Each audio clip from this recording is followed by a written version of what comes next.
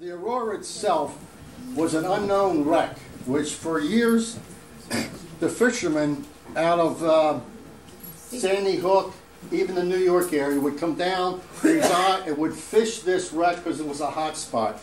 And that particular one there was a family from the 1920s to present day are still operating uh, charter fishing boats. So now what we have is the two guys that I'm waiting on, they went out and did some spear fishing, and when they did on this particular spot that everybody was fishing over, it ended up that they were they were on. It's only in 25 feet of water, and it was just a pile of slate. But it's been fished over the years. There was a lot of old sinkers there, which they had estimated 50, 60 years that it's been fished. So it was known as a hot spot by the fishermen. So they ended up diving it, and in the process of moving some shingles, some of the slate shingles, they came upon some different shards, different types of artifacts. Now the story begins. Again, we don't know what the wreck is. I'm just getting you that we do now know what it is. But it was like a five-year process of trying to identify it. Now, in some of my research, what I noticed was the dates 1818 1835, this is when uh, Robert uh, Kermit owned the Red Star packet line, the new line, and the second line. He had shares in all these shipping lines up out of the New York area. The vessel itself, actually, guys actually went and did some measuring on it to, to help Dan identify the wreck. It's an unknown wreck. The problem is you can't find when the ship went down because it was in 1827. So you're starting to just bring different odds and ends. They were doing research, and what was it, three years? They were diving it. Then Dan started to do some research. The advantage that I have is one, there's no known photo, so I can just put in anything in there. and, you know, just start to look at different ships from the time. Now, the internet just blows me away where you can just Google shipwreck 1825, 1827, and they just pop up. So, this is my interpretation of what the ship was like on the bottom because it was built as a merchant ship out of Bath, Maine. Its purpose was solely to take British merchandise to New York, to the East Coast, New York and Philadelphia, and up into the Maine area.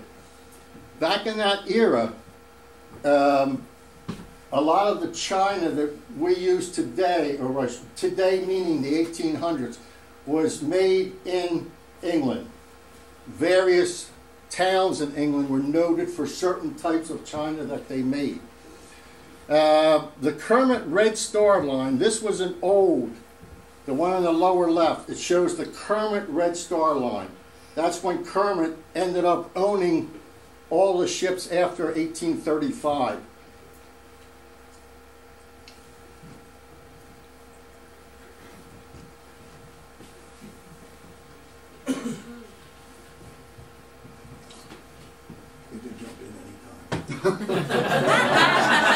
All right, um, there, there's something I'd like to say. The illustration, the cutaway drawing, the cutaway model that Bart just had up on the screen is actually, that, that's pretty close interpretation. We, we know that a lot of ships were involved in transatlantic trade. Schooners, vessels like that were mostly in the coasting trade. You needed a ship to get across the ocean. But the ships of the day were only about 100 feet long, 100, 110 feet long. So when Bart showed a picture, that painting of the vessel with the black squares down the side, those aren't gun ports, they're painted black squares, it had three masts. Basically, a ship was a ship was a ship. All station wagons look similar, all pickup trucks look similar, all ships look similar. That was a very fair representation, both in the painting and the cutaway, of what the Aurora most likely looked like. Now, we've got November 7th. Really, it should have been November 6th when the Aurora, coming across the Atlantic, hit one of the sandbars up off of the Atlantic Highlands and it sat there for a while getting beat up. So the crew started to then lighten the ship as much as possible. And as the weather worsened, they then had to start cutting away. Now, important piece here is 1764, Lighthouse. The merchants of New York, North Jersey, Philadelphia area, they invested in paying for lighthouses because they were losing their merchandise and their cargo that were running up on wrecks, running up on the beaches rather. So this was installed or was built in this particular 1764. So we do have something for the vessels to see. 1823, the Sandy Hook Lightship was out to sea to help them even guide closer to the Sandy Hook and the Sandy Hook Light on land to get their ranges to come into uh, the port of New York. 1823 also was a time when uh, the ship was built. Now, in the process of being hung up on the sandbar, or the shoal as it was called back then, they're getting beaten up. The ship is now starting to take on water, even though they cut down the mast, it just didn't help. It was still in a bad area. It was gale force winds, uh, cold. It's, it's just one of those typical uh, Jersey wrecks, really. When they when they were coming towards the shore and they realized that if they didn't do something, they were gonna they were gonna wreck on the beach. They dumped the anchors overboard and tried to slow the boat's progress towards the beach. Which means that, let's see, the wind is going towards the beach. The anchors are in the front of the boat. So when they dumped those anchors overboard and laid out those cables, they turned into the wind. That means the bow of the boat is facing into the wind, facing east generally. The back of the boat, the stern of the boat, is facing the beach.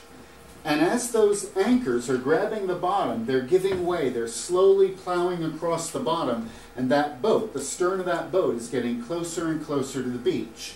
And eventually, she came up on a bar and she started to pound, and pound after pound. Those, those timbers started to splinter, and that's when she, her hull started to open up and she took on water. This is hard to hear, but if you keep quiet, you can feel what they're saying.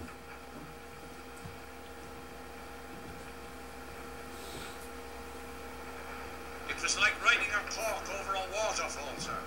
And wind is not the name for what blows in your face. It's something made of iron. Swings at you from the west, never changing, day in and day out. With seas as high as the mainmast. We had lifelines rigged everywhere, sir, and there were still 16 men washed overboard. Cold. Three men frozen the yard. Frozen stiff, sir. Always like that. Because you try to visualize you're in the night, you're in the cold, and no matter what you do, you're not going to survive. It's tough. It really is. A lot of these guys climbed up into the mast because the ship was sinking. They eventually froze in the mast.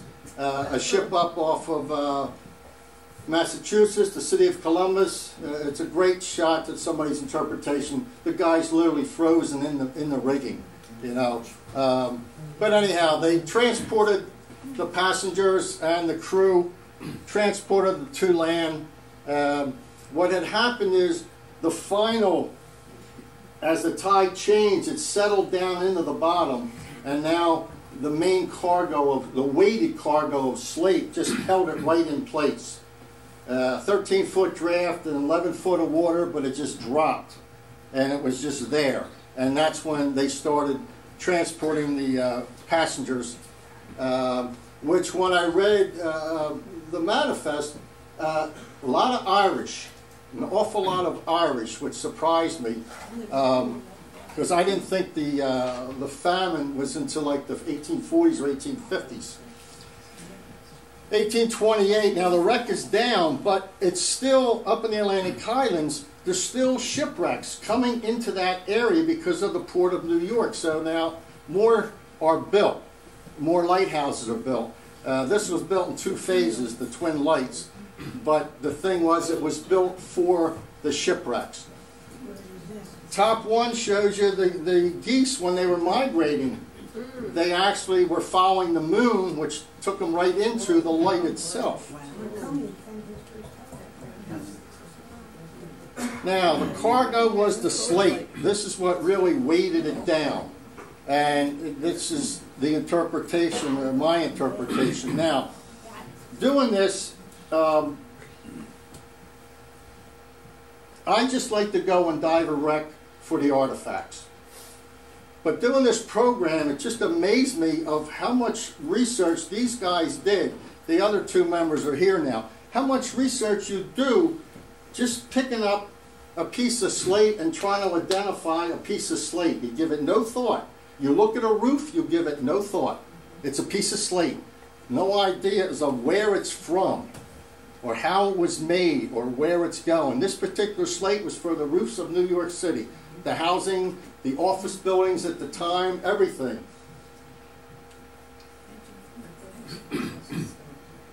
this is what, what I didn't understand. I, I never really gave it a thought, but the way that the slate was mined, and this particular slate was called the Welsh Purple. Now, Joe, who's sitting down over there, when I first saw his new house, he had slate from the wreck over his, I want to say canopy because I can't think of the proper term. Entry, entry roof. The entry roof. It was all this slate. And in the process of getting this slate for his, his house, they started to uncover more of the ship. Like I said in the beginning, it was 55 by 25 feet. It's just, you're just looking at this floor with nothing but slate. Now, when you're picturing a shipwreck, you're picturing what's in TV, what's in the movies. This particular one is up on the beach. It's 300, 300 yards, uh, 300 About yards. 15 1,500 feet off the beach. 1,500 feet off the beach. So it's constantly being beaten down. So picture this floor and now picture a pile of slate on it, 55 feet by 25, 26 feet. That's the wreck. Now, when you want to grab a couple pieces of slate for your house, you're now starting to uncover the wreck. And that's, that's how this all started. When these guys first started um, uh, digging on the wreck uh, to get down into a, a particular uh, cargo item that they were looking for, they dug down something like eight feet. You down guys to can the jump bottom in of the boat. anytime. Eight feet, I tell Gary. which is which is the height that I'm reaching right now. And the slate was kind of set up like bleachers. If you recall that picture, uh, about three or four pictures back, stack upon stack, row upon row of slate. And you'd have a, a stack of slate going across the boat, another one on top of that. It almost looked like a monument kind of thing, like a like a Aztec monument. And that was above the bottom. And that slate came about five feet up above the bottom and went eight feet down into the bottom. Tons and tons and tons of slate. And that's not the only heavy thing she carried, but she carried tons of it. It's, it's um, en- probably enough to do a mansion. It's a phenomenal amount of slate. Had stone on it too. Lots of stone, coal. So that wasn't the only ballast actually. Yeah, a lot of weight. So they dove it. Like I said, they went to do spearfishing, and uh, what's fortunate, they weren't here one time, so they didn't hear me describe them going spearfishing. but they then exposed the wreck. Now, one of the questions which is always asked is about the sharks, the, the treasure. So I'm going to get that out up front. All right. Gold coin was found. Uh, the minter was the same, or the mint, yeah, the mint person was the same, and this helped identify. This is one more clue to identify the wreck. Was the uh, the medallion from the Battle of Trafalgar? The bottom is what it is. The top is what it was when it was originally made. So um, it's in there. The re- the writing is in there. I'm not going to read it, and really, I'm just going to pick up the momentum because there's one that you kind of have to read. silver also. So we have gold, we have silver. Uh, jewelry, uh, I don't know. They've kept that a secret if there is any jewelry. okay. Now here's your silver. Uh, when Dan called me today, and asked me a couple questions.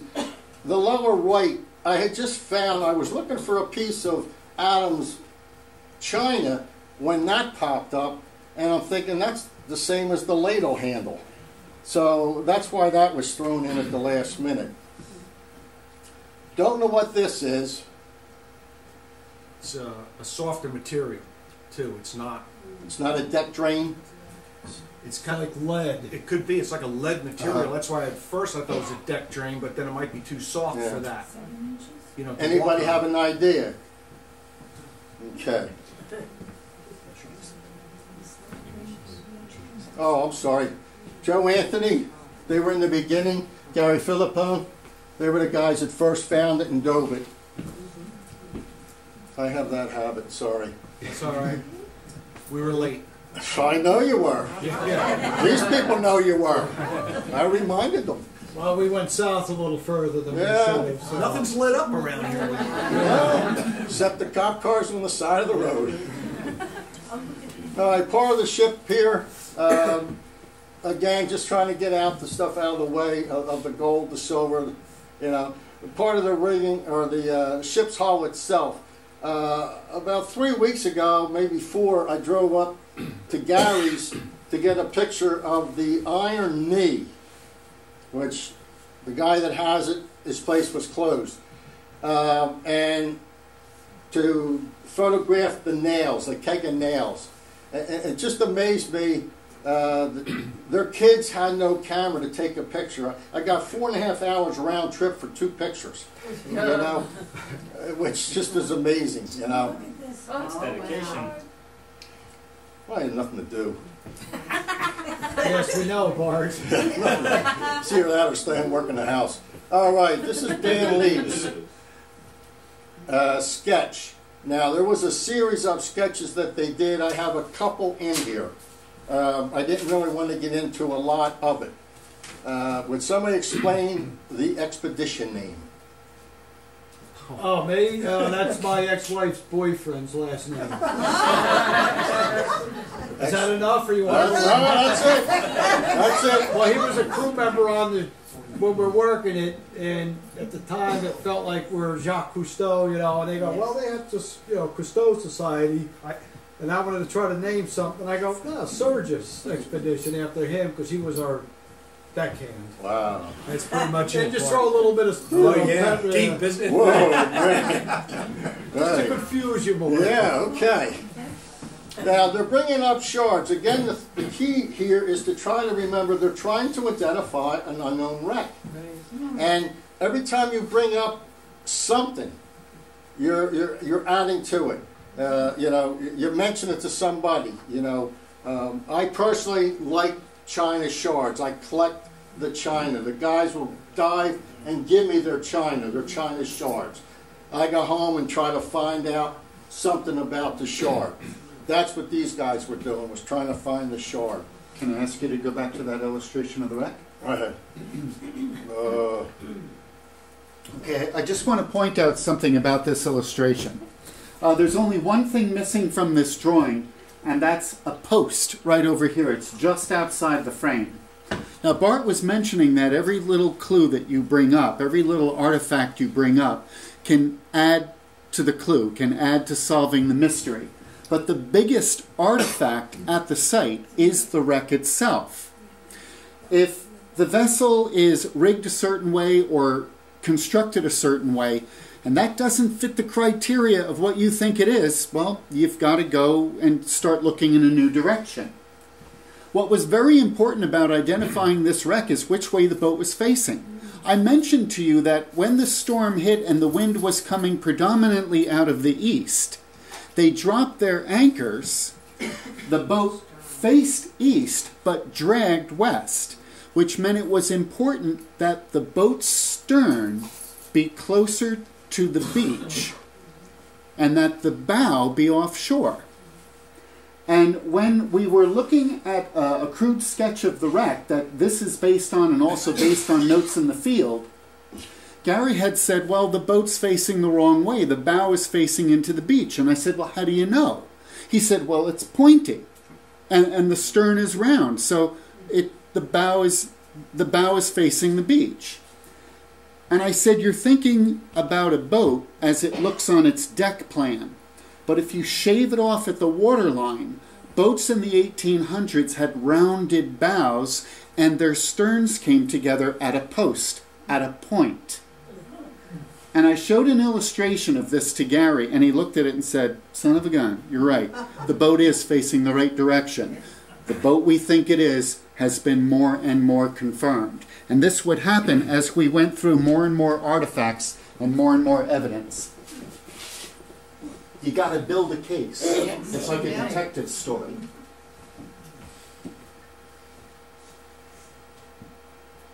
Uh, I recognize what I'm calling the Greyhounds, but I could not find it in any of the pictures that I had.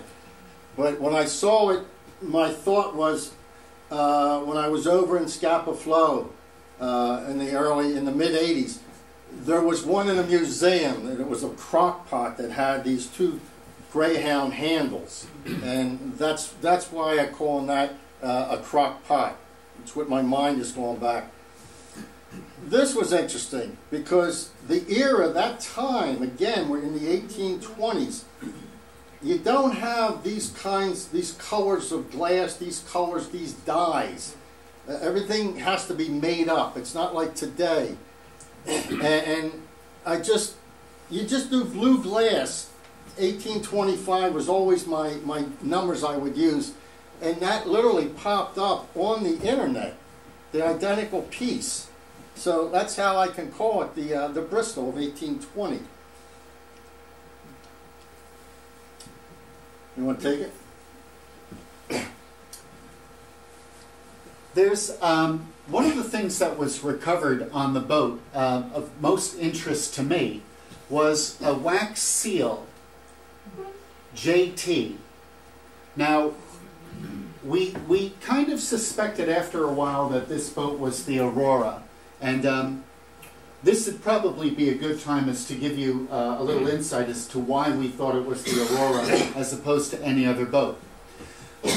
Gary came over uh, to uh, where I was. We had a, a research lab, a, archive set up at Sandy Hook for a while, and Gary only lives a town or so away. So we stopped by one evening, and we were going through the archive, and we were talking about diving. And in the middle of the conversation, he paused and he just threw a little photo album out on the table. And when I opened it up, it was just full of china, full of china, and a lot of other artifacts as well, including a little seal.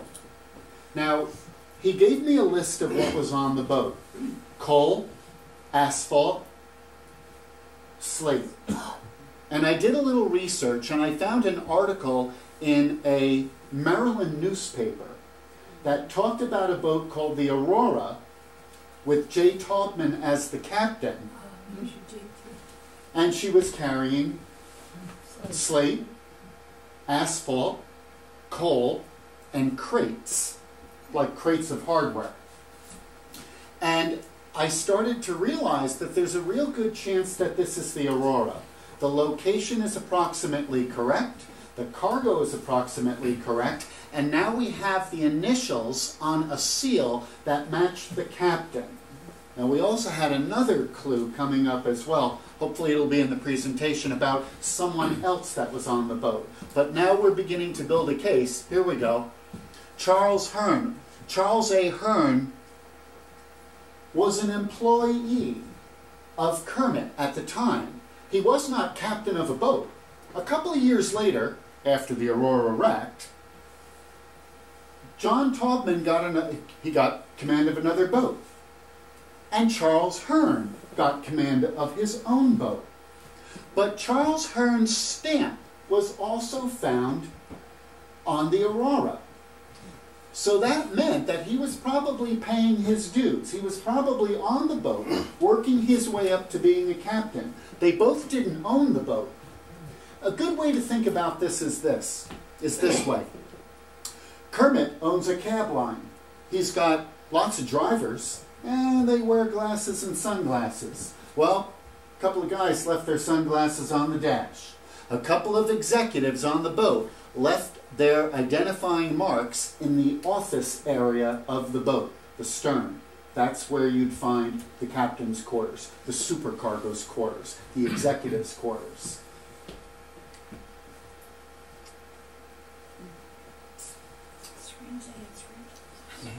We all know what that is, right? Yeah. Yeah, you know what This part sure does. Oh, that looks uncomfortable. I pulled out the, uh, uh, all right, a flute came up in two pieces, which is the top picture, and uh, I was trying to keep it the same theme about uh, playing on his flute, but uh, just uh, I had to pull the picture out that I had ahead of that. It just wasn't appropriate, uh, you know. Uh, interesting also was the cane handle uh, that came up. And again, you know, you just type it in, Google it, and they give you the guys from that era. just blows me away, you know.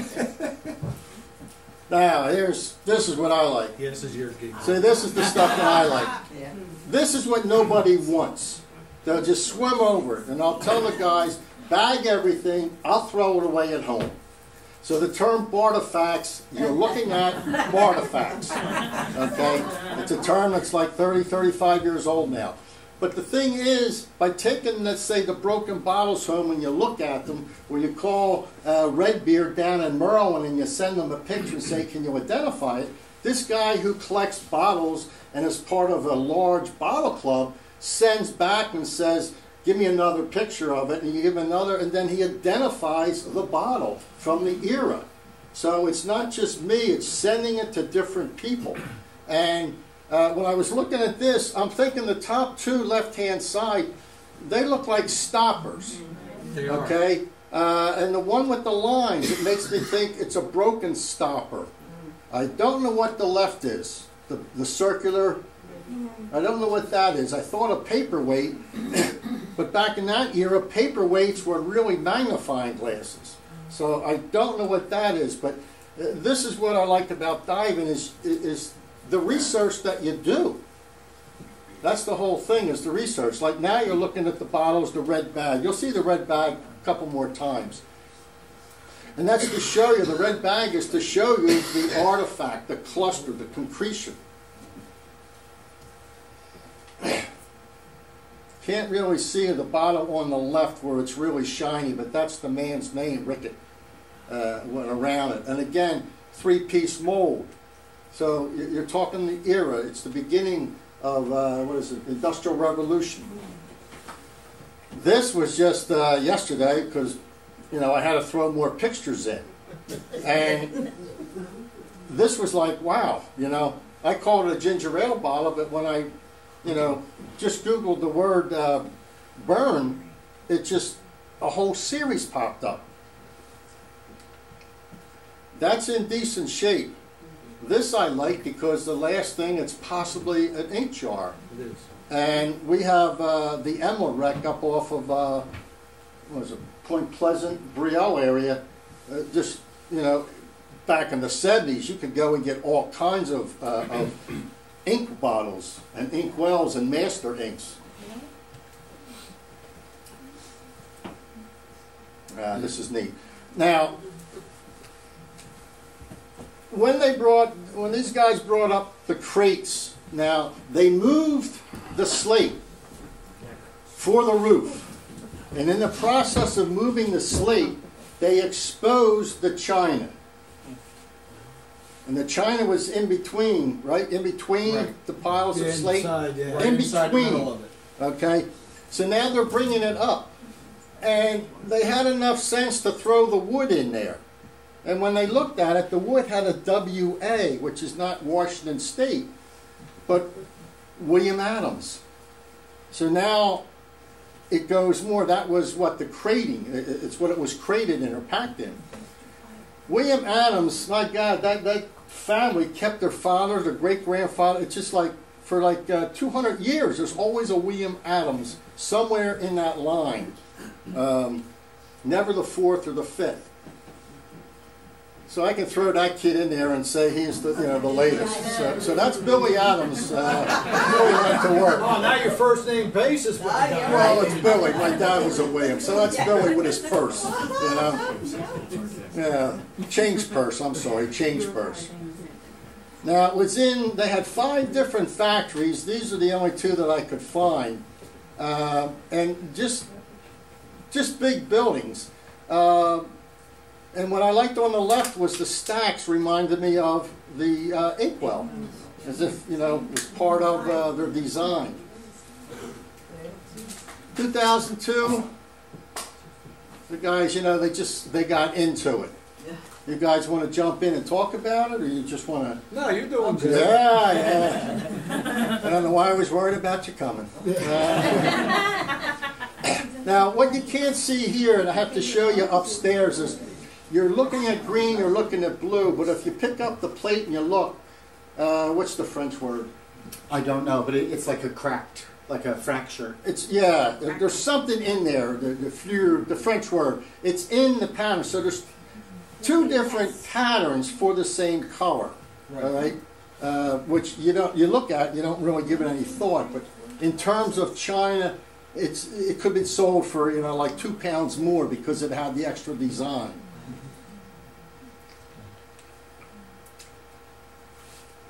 Yeah, now this is it. Again, this is the reason why I collect shards. And this I didn't realize until I was, you know, starting to put this together. I don't know what that means up top. I just clicked and dragged it. So I have no idea what it means. All right? Somebody knows, uh, they can just jump in and say it. before you leave this one. Um, these, uh, some of these shards up in here on the uh, the upper right. This is a very familiar pattern to uh, a lot of us divers that dive further south along the shore around Manasquan. There's a wreck there called the Manasquan wreck that was eventually identified as the ship Amity, which was like about a foot in difference in size than the Aurora. And she wrecked in 1824. So we're talking about a vessel that wrecked in 1827, 24. They're all carrying the same kind of merchandise. These guys came across blocks, they came across hardware, they came across these shards of, of earthenware or china. So did we when we were investigating the Amity. So we're looking at evidence of consistency in product that England is shipping to the American market. Oh, Bart, you did that? That, yeah, I don't know what those things look like. Yeah. Wow, you're pretty good. Yeah. yeah. Damn, I wish we found that in time. This was today. The shards. Again, you can kind of pull the pieces in there. You know, everything fits in this puzzle when you look at them. And and I should have brought like a couple in their book that looks like they could take the time and glue them together. But now, to me, the, the top prize would be that chamber pot in the top center. That would be the top thing to find. We found a lot of broken chamber pots. A lot of broken chamber pots. Oh, I Not, forgot you to- know, white ones, not really floral design. Yeah, I got a whole box full of shards. I forgot to tell you. Yeah, yeah. Again, pieces of the puzzle. Now, this was uh, Lafayette, commemorative plate to uh, General Lafayette uh, back in uh, 1800s. What they did was they would, uh, they meaning the uh, China people, would make something for the Americans. This is the one I'm uh, saying, there's no use reading all of it. The basis is they're making plates to send over to the United States for the American people to buy. That's, yeah, but the American people are the British that came over, the English, the Scotch, the Irish. They're the new American people.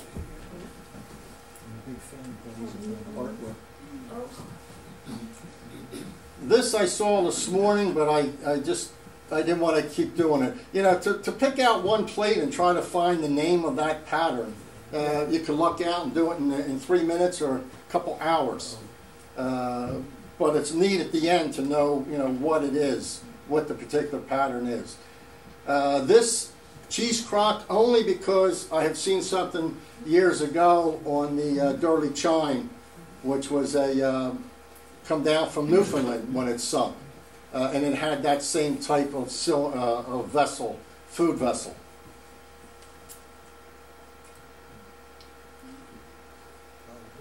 Okay, this is what I was going to have.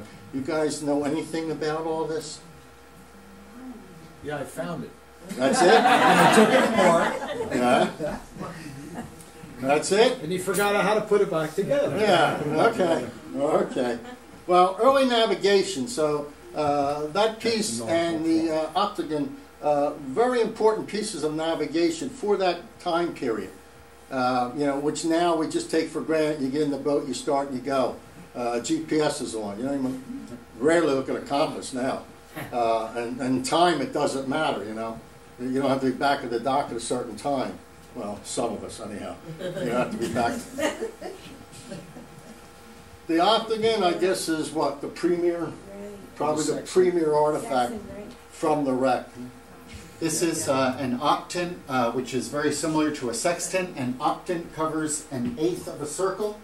A sextant covers a sixth of a circle. Uh, you could get more measurements out of the same device. So eventually, the octant fell out of favor and the sextant took over. And that's again another clue as to dating the boat, as to finding out approximately what era it's from.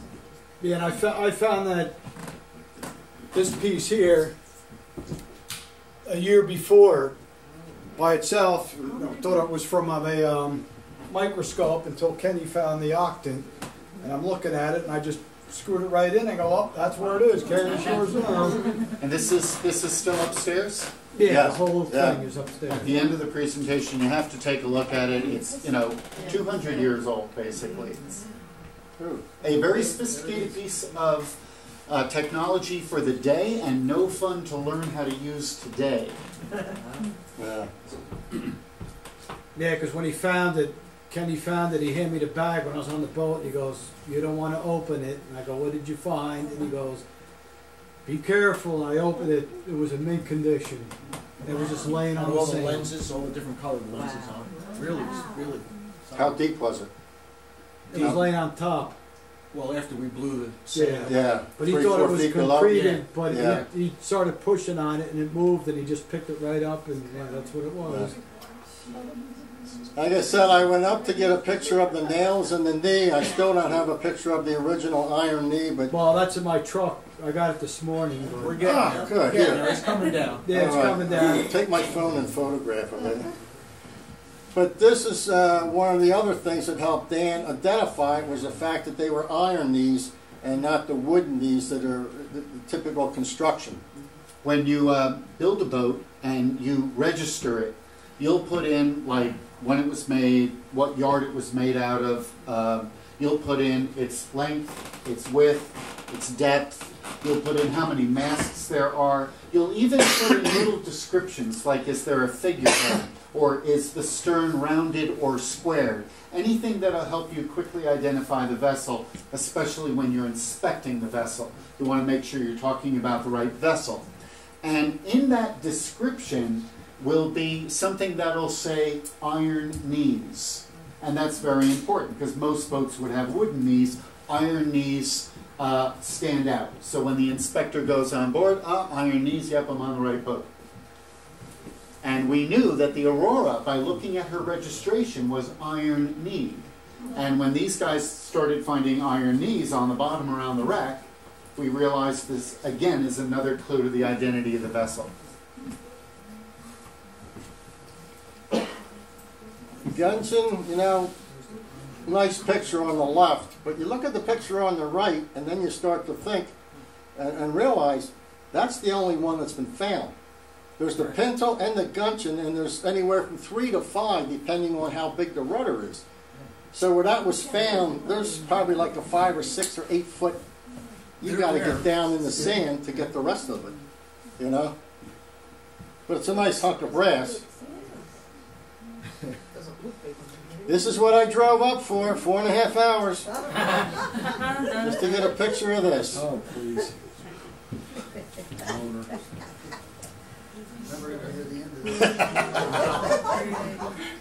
Yeah. Now, the one that says an interesting head, I couldn't figure that out. But when you had the Ogden picture, there was like three or four of them in the Ogden picture. And I'm wondering, is that a ring? I identify it as a ring, but I don't know. And what's nice is you'll notice that uh, I don't know who did all the photo book that I was taking the pictures out of, but they have the same background and they have the rule, which is good for identifying something as size. Isn't that Kenny's Butcher Yeah, Block? it's on a butcher block tape. Butcher block. Right, that's it, yeah. Uh, the uh, Prince of Waterloo. Well, that was the Battle of Waterloo. Personalized handle, 1805, and there's the Prince of Waterloo, 2013. The guys just get a bunch of titles, uh, and they, and you know, I forget how many princes that uh, Charles is, but that's a personalized uh, handle, which again, uh, that's in beautiful condition. There were more than a few of those. So they were chisel handles, tool handles, special tool handles.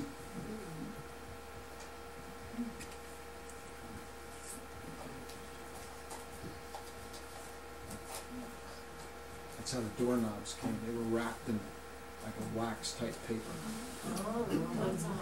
And when we when we were diving the Amity again in uh, Manasquan, we found identical doorknobs, identical hardware. Very common in the day. Very common to ship that product over. I'm trying to think of uh, the one that Hoffman found, the doorknob rack. Brunette. The brunette. The brunette had a large cargo of, uh, of locks, keys, door hardware, and that helped, along with the Mississauga spring water bottles, to identify the brunette.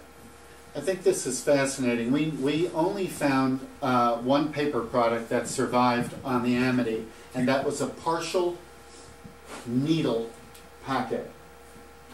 And it, it was amazing that that survived, but it was impregnated with wax. What fascinates me about this is that you're looking at product that is wrapped in paper. Somebody had to wrap that before they packed it in a box, before they put it on a crate and put it on a boat. You're, you're looking at something that somebody touched and it, it's brand new. It's still wrapped. It's 200 years old, but it's brand new.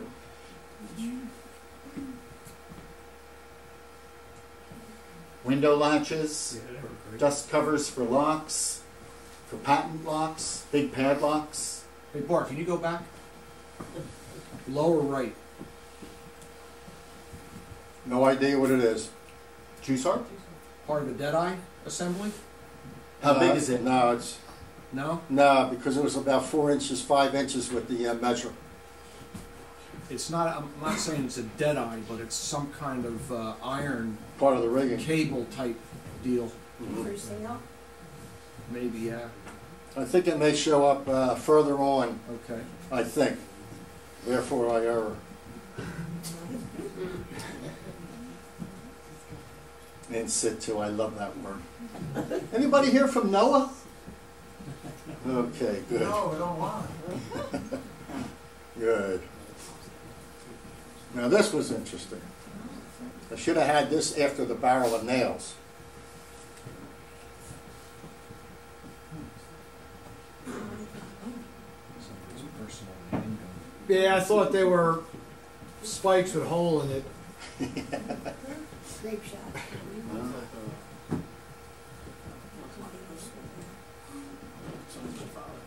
It's really a musket ball, not grape shot. In the Scilly Isles, they're You called grape shot. That Bart, you know. But that's okay. He needed the syringe a couple Well, of I know what times. that is. Now, somewhere there was a picture of the silver pin, right, uh, Joe, that went with this when you found it? Brass pin, yeah. Brass pin. But I couldn't find it No, in the can pictures. it, yeah. That kept me busy for about seven hours, that little pin. That little pin, Yeah. trying to get it out of your finger, out No, the it was in a piece of concretion like that, and Oh, a metal okay. detector, underwater metal detector, and I kept getting a solid hit inside of this piece of iron, and I thought it was a gold coin. So I would melt it down, melt it down every day in acid, every day melt it down, until finally there it was, this little push pin And not gold. and not a gold coin. But it was a great feeling, wasn't it? You bought a new pickup truck with that, that gold coin, didn't you? You would.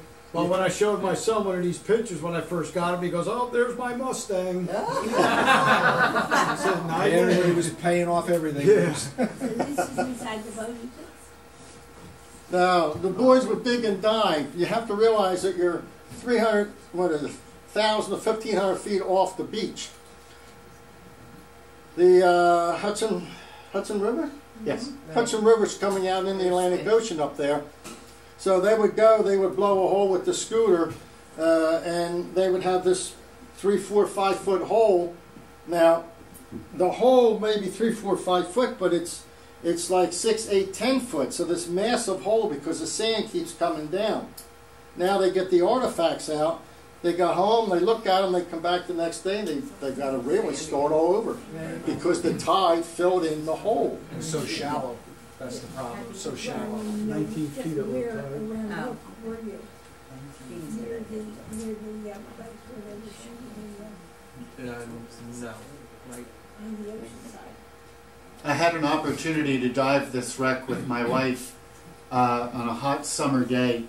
Gary took us out, and the way these stacks of roofing slates are arranged, this one is higher than these two. This one is higher than that, which is higher than that. So it's like a staircase effect, kind of like that.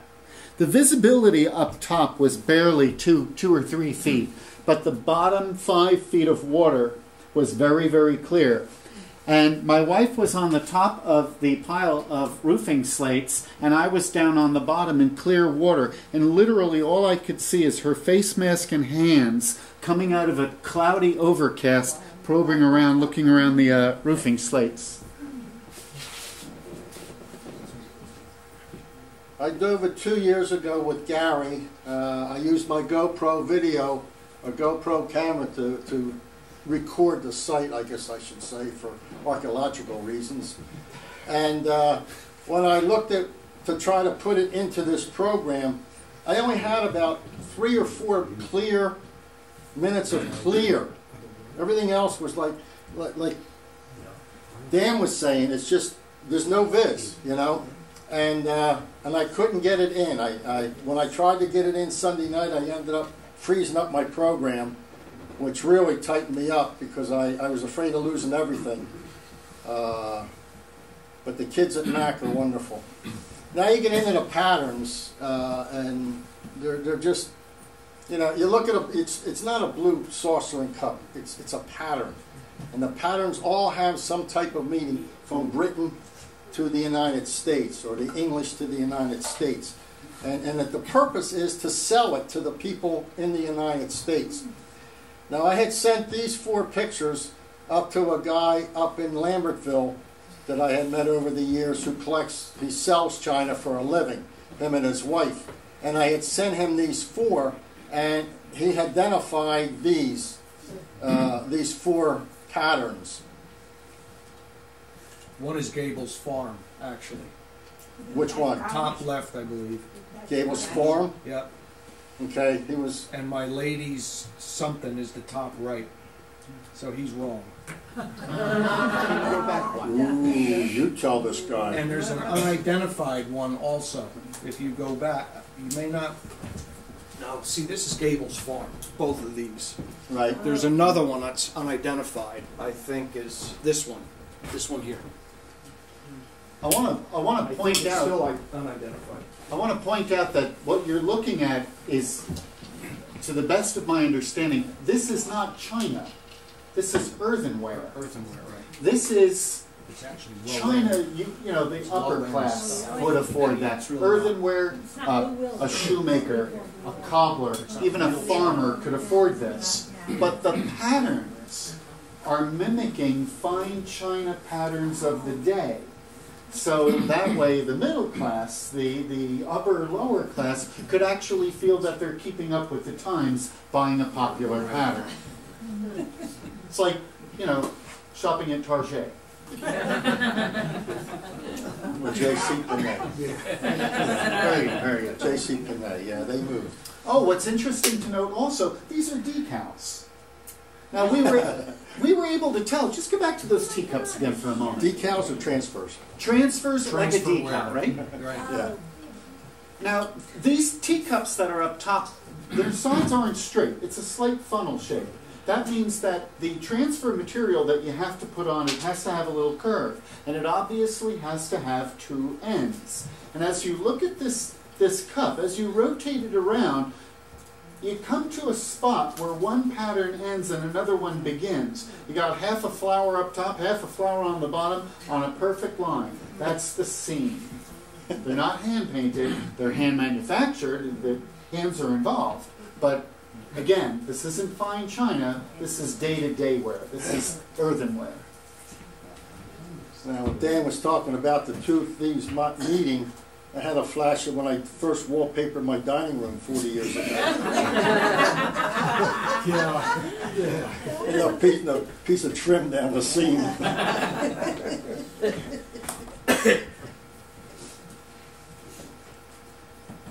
The bottom cup is interesting.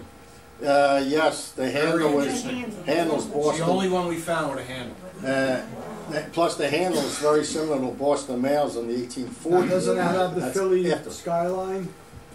Now, that cup on the bottom has more design than all the other cups, but the transfer came off of it.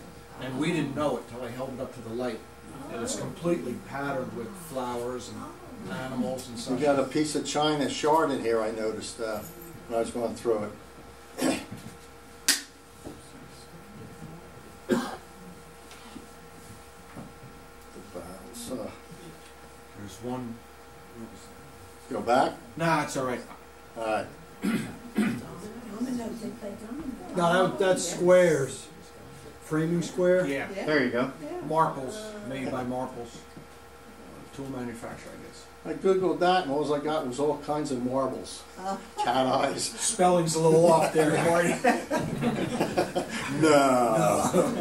No. Spell check. Spell check doesn't work either. Yeah, that's him. It is him. Damn, I thought it was your son. Those are uh, carpenter's tools. You know, what would they, that's a, some kind of a depth gauge type? You would Thing? scribe something Marking. when you, Oh, you want to that's okay. mark it. But you had to have a square edge to mark it. Yeah.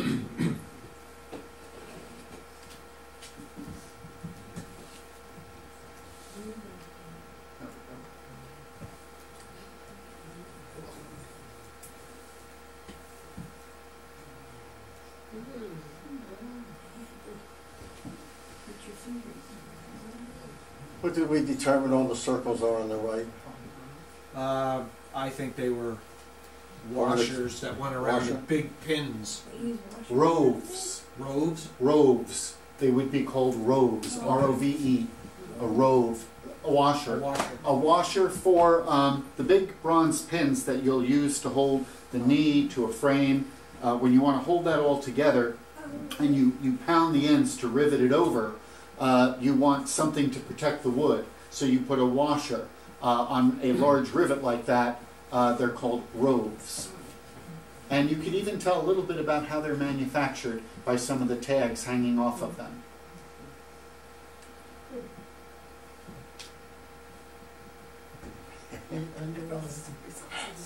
I love that term.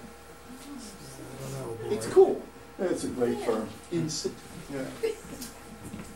What it means is archaeologists want to be able to take everything from a wreck or even a, a land site and prevent the average person who found it from taking it. Uh, Not this time. no attitude. right? Not today. But there's an example when you leave it there, what happens, uh, you know. That's another photo of twin lights. Yes. But if you notice, the towers are not identical. No. The lights are the same, but the towers are different. Well, one was made earlier than the other, If you go out different times. if you go out to Sandy, just as you go through the first gate, Now, when these guys had all these artifacts, they wanted a place to put it, like I said in the previous one. Uh, they wanted to put them up in their backyard, and, and the uh, lady at the time, uh, she didn't want anything to do with it. Now, some of the problems that I've noticed that I've had over the years is when I wanted to put my artifacts, like over at the uh, Philadelphia Maritime Museum, which is now Independent Seaport Museum, they wouldn't accept them because I'm a diver, I'm a sport diver, I'm not a marine archaeologist. So for them to take any of my artifacts and even have them on display for a week or a year or whatever, they would lose the possibility of grants from the federal government. So that's why they can't take some of the stuff. And this is some of the problem these guys had is trying to find a place to put this. Sandy Hook didn't want it at all. They don't- And I went right to Trenton, and spoke to guys, didn't want it. We had, uh, work, we, think. we were, a group of divers were gonna put a shipwreck artifact display over in the, uh, Camden Aquarium, in an aquarium. And, uh, we were told close to the last minute, uh, no, sorry, the, it, it's been canceled. There's been complaints. And we said, well, from who? And they said, well, from a, a nearby museum. And we thought, well, what museum in New Jersey would complain about that? They said, no, it's Philadelphia that's complaining. So Dan has uh, some up at his museum.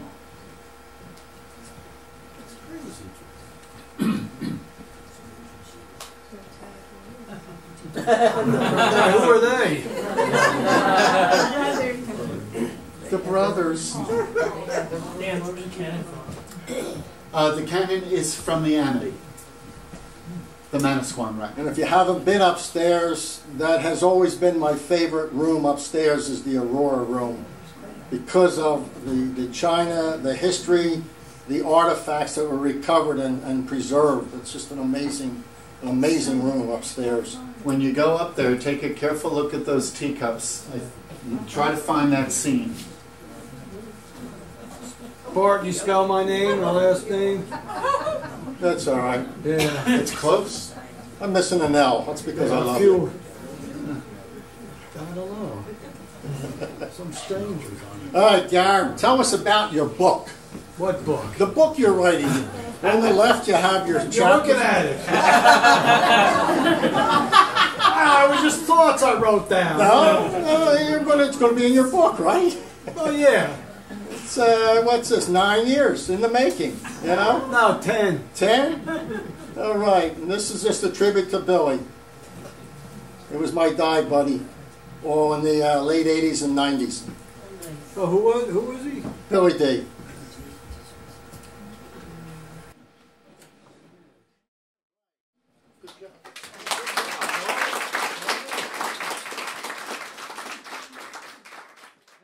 Regarding uh, salvage and uh, who gets what, that sort of thing, in the United States, uh, the federal, uh, federal government has what's called the Abandoned Shipwreck Act.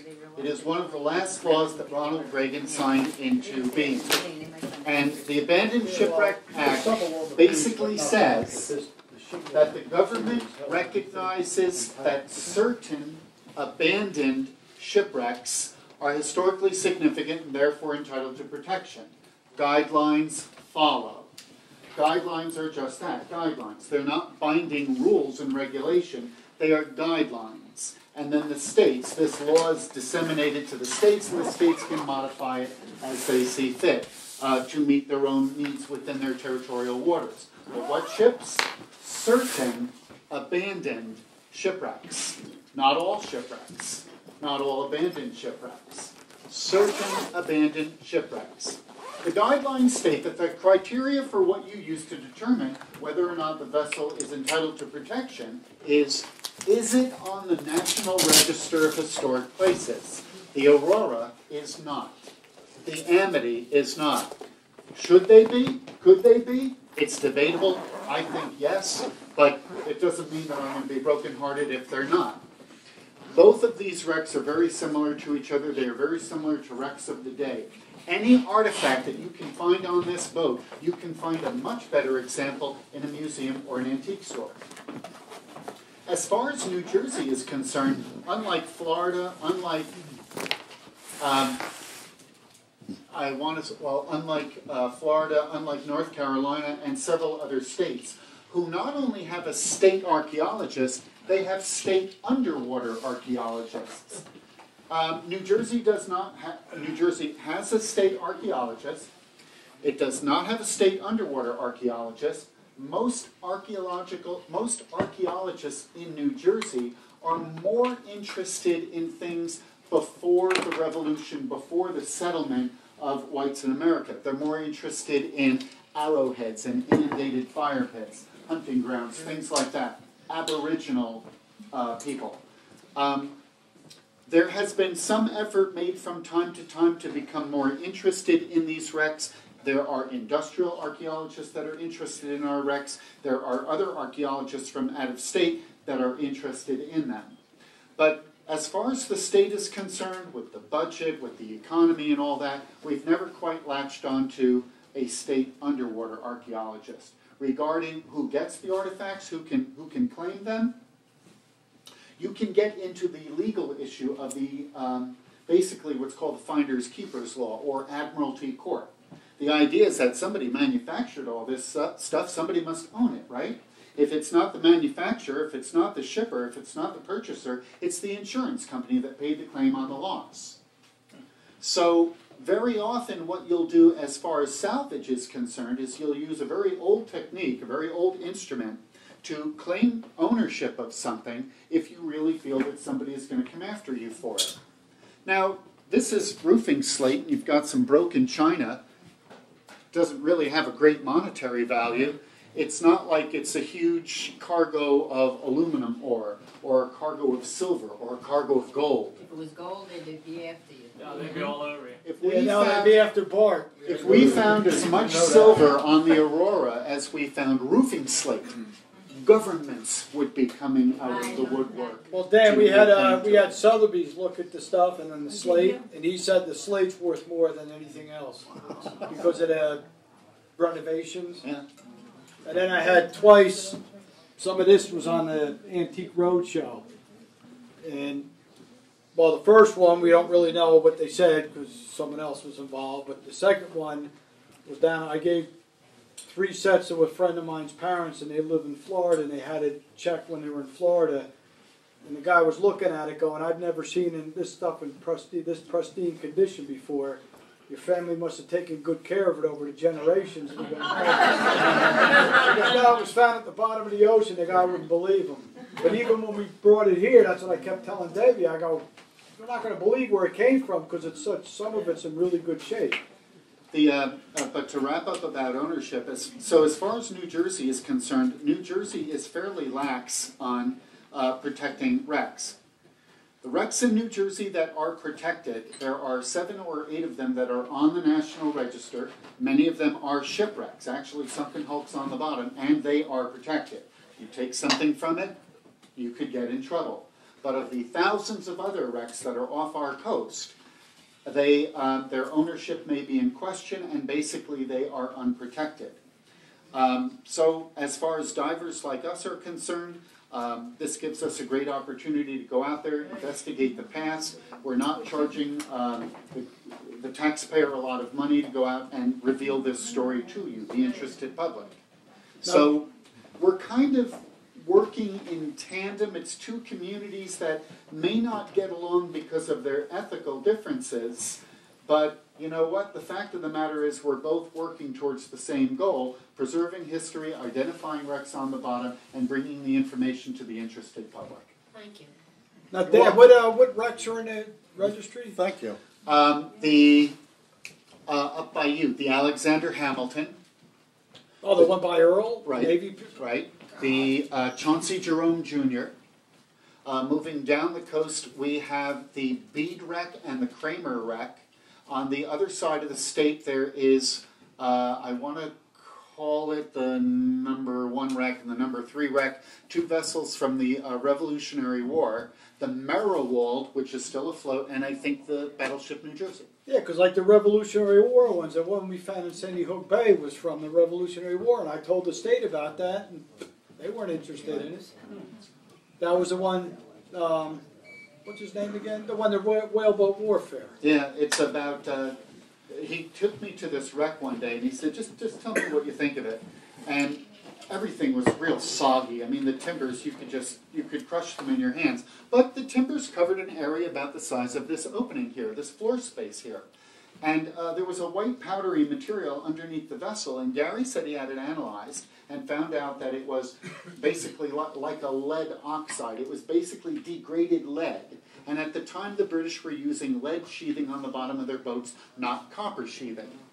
So, how did this vessel get here? A British vessel. Um, we could go into a long story about that, but basically, uh, Captain Hyler, a whaleboater who was quite a patriot, would go out and harass the British vessels that were at anchor at Sandy Hook. The bay shore was New Jersey's Normandy Beach. When the British came over, this was one of the points of land where they put their troops ashore, they put their goods ashore, and they had their fleet anchored out in Sandy Hook Bay and in Raritan Bay. And Hyler very mischievously would row out there. He'd go out there with his crews. They'd off the night guard or push him overboard and literally put a trail of gunpowder on the boat, leave the cask of gunpowder there, spark it up, and row away. And one account that they have is that as they were rowing away, one of their vessels exploded, and there were literally burning shards raining down all around them as they were making good their escape. And as I dived this wreck with Gary, I'm thinking, is this one of those boats that Hyler dynamited? Yeah, well, a couple years ago, I found the anchor, and it was yeah, it was at anchor when it sank, and that's what these were. But I told the state, and they weren't interested. In, I told them it was from the Revolutionary War, a war loss. They weren't interested in it. It costs a lot of money to, uh, to hire archaeologists. Usually, archaeologists will get involved in construction projects where state or federal dollars are involved, where you have to make sure that no sensitive cultural resources are impacted, like an Indian burial ground on land, or perhaps a shipwreck at sea. Like if you're putting in a, a, a new uh, trench outfall, or you're building up a bulkhead, or you're putting in a bridge. That's where a lot of federal dollars or customer dollars will pay for archaeologists to do this work. Otherwise, if it's just lying out there, the archaeologists would really prefer that we just leave it alone. As a matter of fact, I was working on one shipwreck. I've worked with archaeologists more than two dozen times on expeditions from uh, Massachusetts, from Rhode Island actually, uh, New Bedford, uh, down uh, through uh, Virginia. And I was working on one wreck and I brought up coal because I knew it had a cargo of coal. And I laid the coal out on a table and I put a ruler out there and I photographed it. And I showed it to an archaeologist that I'm friendly with. And I said, Here's the coal that I recovered from the wreck. And he said, What'd you bring it up for? I said, Well, I wanted to take a photograph of it, measure its size, you know, kind of kind of show that it was recovered from the wreck. And he said, Did you think I wouldn't believe you? And I paused for a moment. He said, Dan, I'm just trying to get you out of the habit of bringing up everything that you see. That's tough for divers to do. Do you anticipate that Sandy, the storm, made a difference on those oh, kind wrecks, or is it all that activity above the surface? I'm going to answer it two ways yes and no. Yes, we know that these wrecks fall apart. We have been diving wrecks long enough to actually watch them fall apart over the years, over the decades. It's tough to give directions on some of these wrecks anymore. Their boilers collapse, an engine will fall over and break something underneath it. But on the other hand, there must have been dozens, if not scores, of hurricanes that rolled over the Aurora in 25 feet of water and 700, 1,500 intact pieces of china came up. How far off of, of the, um, shoreline? 1,500 feet opposite the booth where you pay your admission to get onto Sandy Hook. You get up to the toll booth, straight to your right. When I dove it with my wife, we must have dove it at closer to a low tide. I was hard pressed to get 22 feet of water. And I was pushing my gauge into the bottom.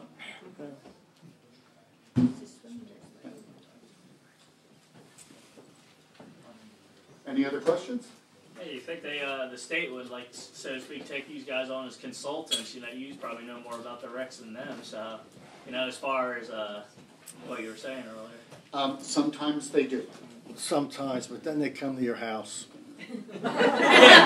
You can't come in.